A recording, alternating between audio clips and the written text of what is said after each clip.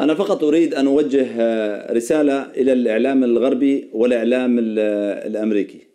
نريد أن نفهم هل الولايات المتحدة الأمريكية أو سفارتها أرسلت تعميم للجميع أنه اللي يأتي على مجازر الطبقة والرقة ودير الزور والموصل وقتل التحالف للمدنيين بنحطه على قائمة الإرهاب؟ نريد أن نفهم. 500 شهيد مدني خلال 48 ساعة 300 في آه، الرقة والطبقة وريف دير الزور منهم 190 بس بمدرسة المنصورة.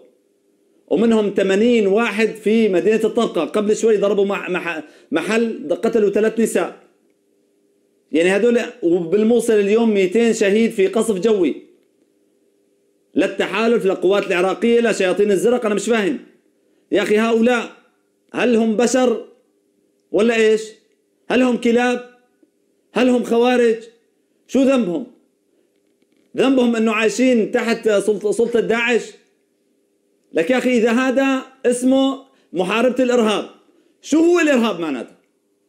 أنا أريد أن أفهم بس صرخة صحفي سوري. شو إذا هذا اسمه مكافحة إرهاب ونشر الإسلام المعتدل شو هو الإرهاب؟ شو خليته لداعش؟ بس جاوبوني. أطفال آه، نساء لك ما عم يسترجي حدا يكتب عنهم. وتنظيم الدولة المشكلة صادر كل شيء كاميرات لا عنده لا صحفيين لا نشطاء لا كذا ما في إمكانك توثق من شيء عم يبعتوا هالمواطنين بيرقد واحد يمكن أرب- آه، آه، 20 كيلومتر ليلحق نت عند واحد فضائي بمكان مشان يبعث لك صور أو صورتين. يا أخي حرام هذا الشيء اللي عم يصير. وليش الإعلام العربي لا يسلط الضوء على المجازر؟ هؤلاء مش بشر. اللي في الرقة مش أهلنا اللي في دير الزور مش أهلنا اللي في الموصل مش أهلنا. ولا إيش يعني؟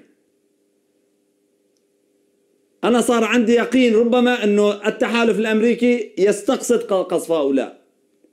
ليش؟ لأنه معروف أنه التحالف لا يضرب أي هدف إلا بناء على أحداثيات.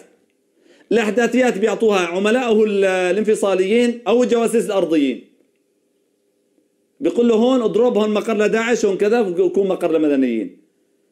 في إحداثيات آه، انعطت للتحالف. يوم ما تم تهجير العرب من قبل الانفصاليين وتم تهجير أكثر من مليون عربي وقتل أكثر من 25 ألف عربي خلال مدة سنتين أو ثلاثة عم بحكي لك الآن. ليش؟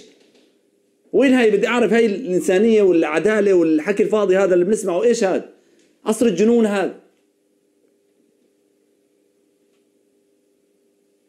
بدكم تقاتلوا ده إيش الفرق بدي أفهم؟ إيش الفرق بينكم وبين بشار الأسد؟ سياسة الأرض المحروقة بيروح بدمروا حي كامل وبعدين بيقولوا للحشد الإرهابي أو الانفصاليين تعالوا يلا حررنا لكم. معروفين. الحشد الإرهابي خرجوا قتال ولا الانفصاليين خرجوا قتال. أنتوا بس عم تقاتلوا الد- الدواعش من من الجو. تضربوا بالاف 16 بعدين بتجي الأباتشي بت- بتمشط وبعدين الحشد بيجي زي الضباع. هذا كلام مش دفاعا عن داعش مشان ما حدا يقول لي الآن عم بتدافع عن داعش هؤلاء. أنا عم بدافع عن الإنسانية. وحدا يترجمها هاي للإنجليزية كده يحطها هيك. بلكي توصلهم. حرام اللي عم بيصير هذا الأمر. هذا التجاهل كأنه المجازر التي حدثت ما حدا بيسترجع يحكي عنها.